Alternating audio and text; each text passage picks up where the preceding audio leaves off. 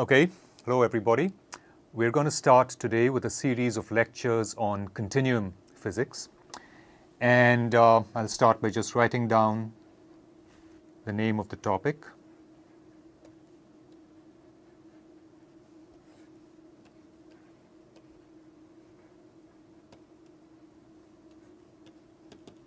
Okay, now when we talk about continuum physics, uh, there are two things to talk about. First of all, what do we mean by continuum? And when we say continuum here, we are talking about uh, the physics of bodies that can be treated as continuous systems. Um, an example is this um, foam version of an American football right? The idea is that this is a body that's continuous. Of course, we know that if you look at, look at it under a sufficient uh, degree of magnification, a sufficiently strong microscope maybe, you'll see voids in it and all of that, right? We're not concerned with that. For our purposes, this is a continuous body, okay? And that's what we mean by continuum physics. Another example is the colored fluid, just water in this bottle, right? Uh, I can rock it gently from side to side. You see the fluid sloshing around. However, the fluid remains continuous. We know that if we really agitate it, we get bubbles and things like that, and those are not truly continuous. We won't really get into that sort of an issue in this uh, series of lectures. Mind you, continuum physics can treat those problems too. It's just that in this sort of basic uh, entry level uh, series of lectures, we won't worry about that you may be able to see that I have drawn a little window in the front of this bottle. Uh, it doesn't concern us right now, but as we get deeper into the lectures, that window will become important to us. Okay? So, we know what we mean now by continuum physics. At least we know what we mean by continuum bodies. So, let's start off by putting that down. So, we are talking, when we talk about continuum physics, we mean that we are concerned with uh, bodies that can be considered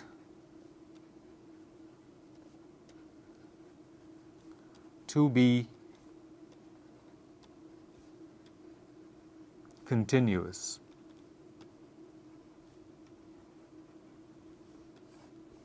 Okay? Simple enough definition. Uh, but there is more. You know, when we talk about uh, continuum bodies, we're obviously going to talk about other physical quantities on them. Okay. Continuum physics also requires that when we talk about um, you know other variables, other quantities of physics that are going to be important to these bodies, uh, we are going to talk about them. We're going to describe them by continuous mathematical functions. Okay. So bodies that can be considered to be continuous. And uh, in addition, we're also going to talk about physical quantities.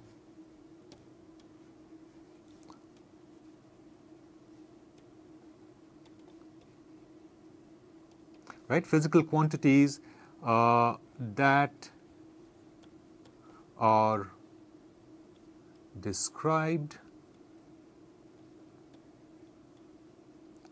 by continuous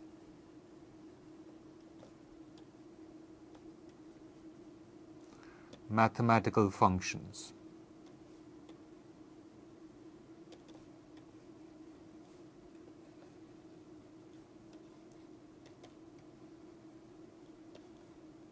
Okay? And that really, in a nutshell, is what continuum physics is about. Continuum bodies subject to physical quantities. And by physical quantities, we mean the, the usual sorts of things, right? We're talking of mass, force, velocities, and so on. But we're going to find ways to describe those quantities through continuous mathematical functions. Let's talk a little about uh, what kinds of physics we're going to cover here, because of course physics is very broad, right?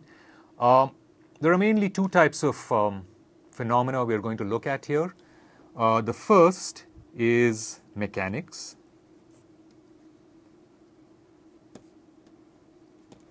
Okay? And we won't get into a formal definition of mechanics. We'll assume that everybody knows what we mean by mechanics. We are talking about, we're going to look at how bodies move, maybe how they deform, how forces are applied upon them. All of that is mechanics. Okay? Um, furthermore, in the context of mechanics, we're going to look at the mechanics of solids and, to a lesser extent, fluids. We will mainly concern ourselves with fluids in order to understand better what we mean by a solid. Okay, so what we mean by a solid is what a fluid is not. Okay, and we will see more and more of this as we go along. The other uh, sort of uh, broad phenomenon that we're going to consider um, towards the latter section of this series of lectures is transport.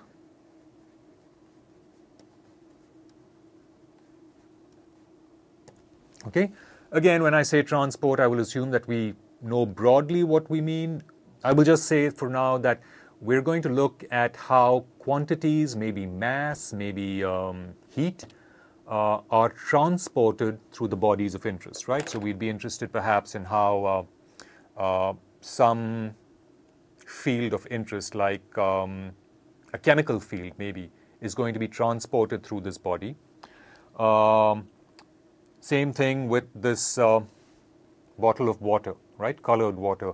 We may concern ourselves with how we may introduce at one end of this bottle, we may introduce a dye of some other color, I don't know, maybe red, and watch how that dye is transported through the rest of the fluid. Okay, so that's what we mean by transport. Now, so we're going to start these lectures by really looking more specifically at continuum mechanics.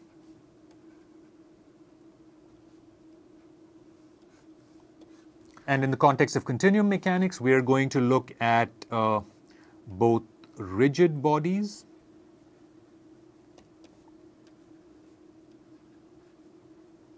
Okay. By rigid body, again, we mean something that is not quite as uh, deformable as this, right? You can see this thing deforming now. There, you can see it deforming. Uh, instead, assume that this thing was not deformable, rigid right? So we will look at the, at the mechanics of rigid bodies, right? Something that just moves without deforming. Um, that's what we mean by rigid body. And then, of course, the, the converse or the opposite of a rigid body is a deformable body, right? Or deformable bodies. Okay. Uh, those two classes really cover the sorts of bodies that we will look at. They may be fluid or solid, right? Obviously, fluids will not be rigid bodies, only solids will be rigid. Uh, but, okay, so, so, so we understand that. All right, let's, let's, let's uh, plunge uh, further now. Uh, what we want to consider ourselves with is um, what a continuum body is not, okay? Um, so we know that our solid or our fluid uh, at sufficient magnification consist of particles or even at, at, at, even greater levels of magnification consist finally of atoms, right? Or, or you, may, you may choose to go down into the subatomic scale as well. Okay, so let's try to represent that. So, um, so I'm going to draw our body, right? Uh, and that is how we will often represent a body through this sort of potato, as it's often called, uh, we know that this body actually contains atoms, right? Uh, let me concern myself now with one of those atoms. I label it atom I.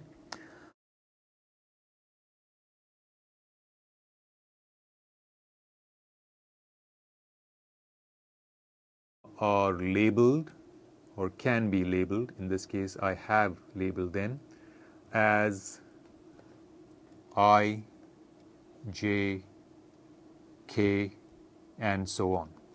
Okay.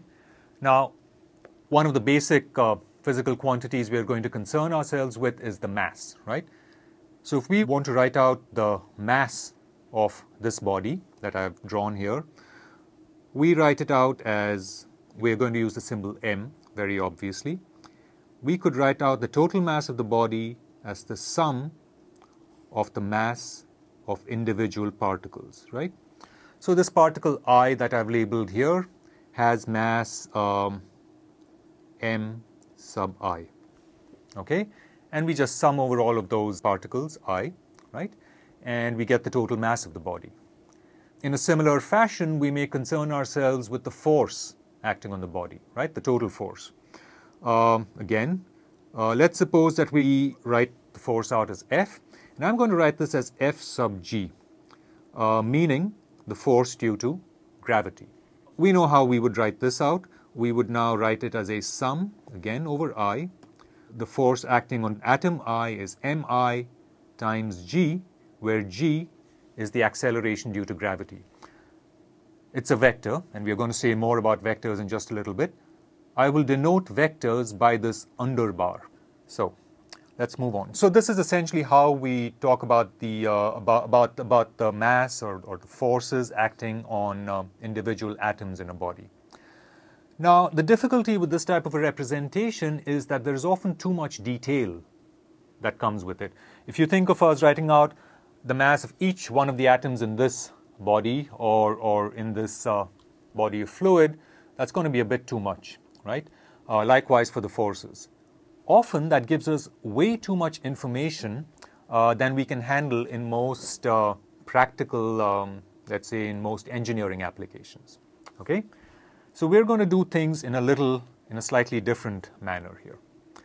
Uh, we're going to take a different approach and we're going to start out by again looking at our body, right? We are going to denote the body now by a script B. Okay? That's the body. Okay? Uh, denote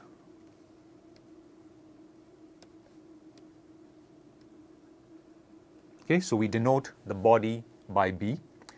And what we want to think about now is not the body itself, uh, because this is, you know, if we, if, we, if we denote this body as B, it's not a very convenient representation. It's particularly not convenient from the standpoint of mathematics. We want to think about this a little differently. And the way we want to think about it is, is the following. This body is occupying some region in ambient three-dimensional space, right? Rather than look at concern ourselves with the body, it turns out that for mathematical purposes, it is better if we concern ourselves with the region in space occupied by this body. Okay? So, and, and, and likewise with, with, this, uh, with this fluid body, right? We are going to concern ourselves with the region occupied in space by this body, by that, by that fluid body. So, if we denote the body by B and the region of three-dimensional space and the region of 3D space occupied by it occupied by B as omega. All right? So, we concern ourselves not with the body B itself, but really by the region and space that this body occupied, right? I've taken the body away, Remember the region and space that the body occupied? That is what we're going to concern ourselves with. Now, in order to be able to talk about this in a more sensible fashion, we need to introduce a little more uh, mathematical notation here. And we will start doing that by introducing a set of axes. Okay? Uh, for now, I've drawn three axes here because in general, we're going to concern ourselves with uh, three-dimensional space.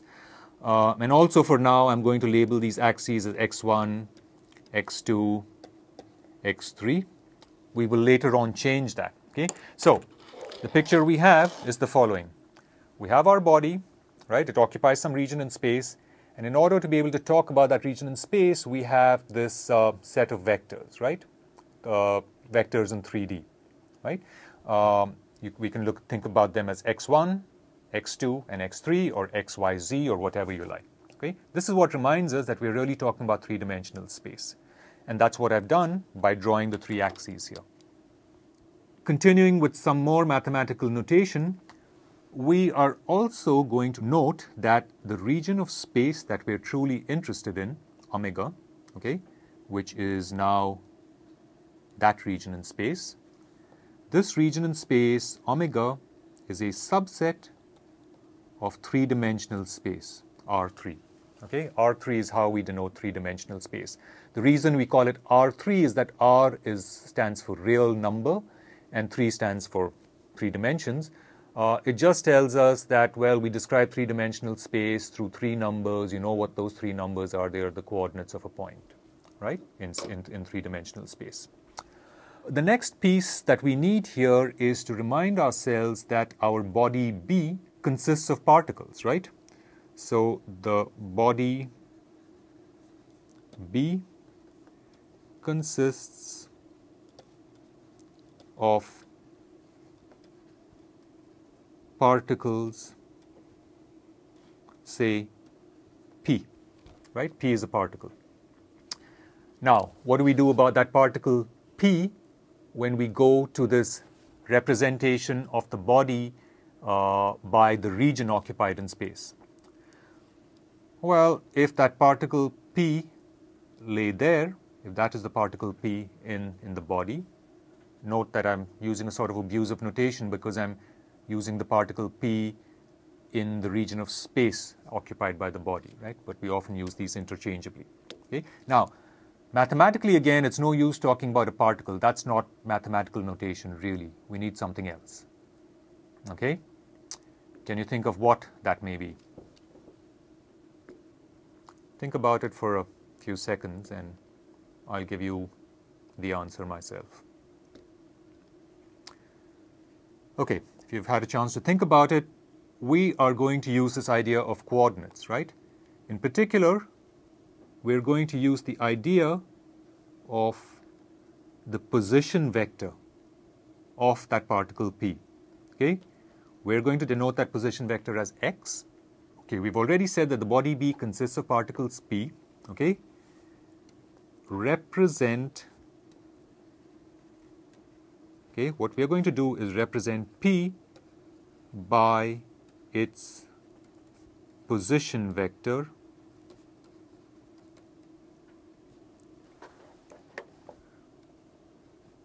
position vector x which really is just a collection of the coordinates of that particular position in space right so some particle P sitting right here on the body, taking the body away, it occupies a position uh, in space, and I'm still holding my finger here to remind us of, of, of, that position in space. Here are our coordinates. We can now describe the coordinates of, that, of, the, of the position occupied by that particle P. Okay? And, and, and x is a vector. I'm using the same notation, x with an underbar. It's just a collection of the coordinates of the point, and that is how we represent it mathematically. Okay? We're going to stop here for this segment.